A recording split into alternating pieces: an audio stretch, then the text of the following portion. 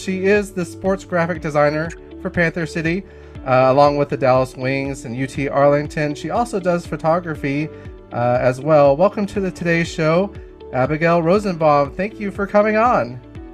Yeah, thanks, y'all. Really appreciate it. No, that's uh, that's awesome. We, we're we're very happy to have you on tonight. Uh, I guess to kick things off, has there been a, a favorite part or favorite you know project that you worked on so far this year that you're like, oh man, that, that was totally awesome? It was definitely. I feel like uh, we talk about it so much, but it was such a height of my career was the Texas Forever Night. Mm-hmm. Uh, everything about that came together amazing. Um, the photo shoot that we did with those jerseys, you know, I'm like I said, I'm a hometown gal. Uh, Stockyards is more my place than anywhere else, and so getting to do a photo shoot there was awesome. And then the truck that we used in the shoot was actually my truck. Um, so that's my truck from high school, college. I still own it now. I've been at my parents' house. Nice. So getting to see that plus the jersey I designed, like if I could go back and tell high school me, middle school me, anything like that, like, hey, this thing that you have is just going to be come together and have its moment and you're just not you don't process that that's what it's going to be and then coming to the game and seeing everybody so excited about it yeah. and then the home games since then seeing people wearing those jerseys and just knowing that you know some of the things that we raised so much money auctioning off jerseys i designed and that money the benefits it has things like that that texas forever is just one of those things that i never thought could happen and it happened and now I don't know.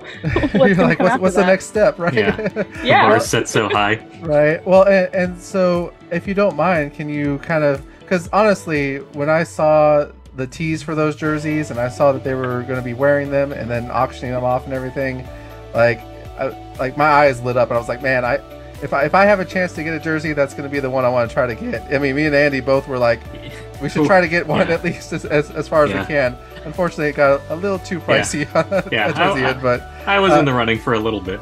yeah, right. Uh, but no, uh, do you mind going into that process, is especially with that jersey, kind of like where you got the ideas from, and, and just kind of how that process worked into creating the Texas Forever jerseys? Yeah. So, um, if y'all have read uh, Donnie's blog, which if you haven't, I highly recommend to anybody, y'all or listeners. Um, he writes one every week. He actually did a blog post that I wasn't didn't know that's what he was writing at the time um, about kind of a little bit into how the Texas jerseys were made. Um, but it quite literally started with a crayon drawing. in that, I was uh, I think in my first two weeks or something with the company, they were like, "Hey, we're going to design specialty jerseys this year. Here's a blank one. We want to do it for our Texas Forever Night." Have at it. Um, and I was like, okay, so I guess that's what I'm working on for the day because it was our off season for both teams. Um, and the only thing we had in the office was pens, sharpies, expo markers, and crayons. And I really wanted color pencils, but crayons is what I got. And so I drew up like three or four designs, and that's where it started from. Was just a Texas flag on the front. Um, had to take some convincing of those who are not from Texas that it is okay to change the colors of the Texas flag. That is a very Texan thing to do. Mm-hmm. Um, we pulled a lot of colleges to, as examples. Um, one of the biggest ones that we were able to use to convince was the UNT flag that they fly right by the highway. Um, so that one really helped to like push forward.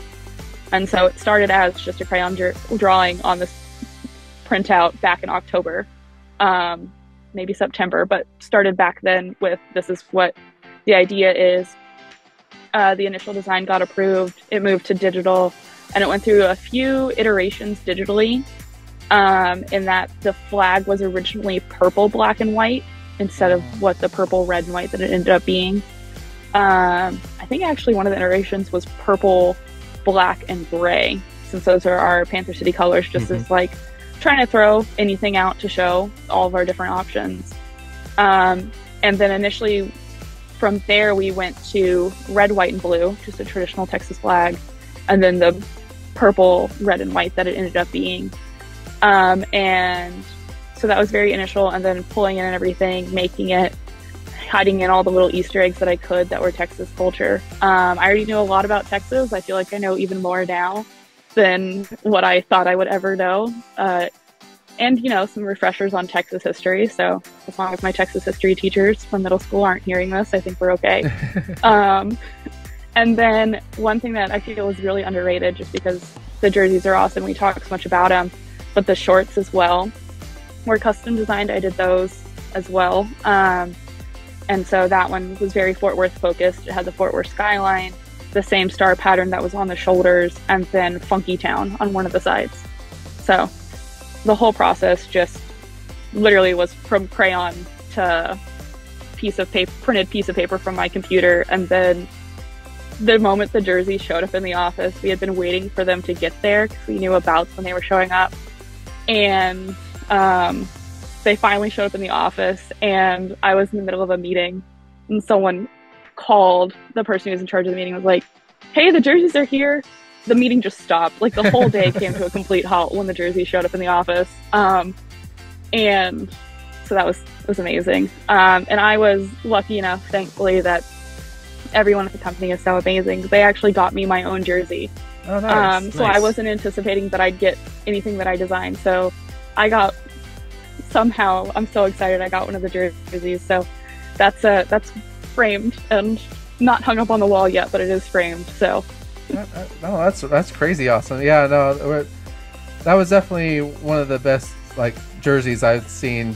Period. I mean, alternate jerseys in the last you know few years for sure from any team. Just because, again, like you said, it was very homegrown and had a lot of nods to Texas and and Fort Worth and stuff. Uh, you, you're you're gonna hit all these uh, uh, side questions that I had from that I had gotten from my friend. Uh, by by the way, shout out to Josh Featherstone if he's listening out there. But no, he actually said like a good question to ask would be, you know, what's your favorite Easter eggs that you put in there? And, and so you touched on that with the jerseys. What, what what's some uh, Easter eggs that we should look out for when we look at those?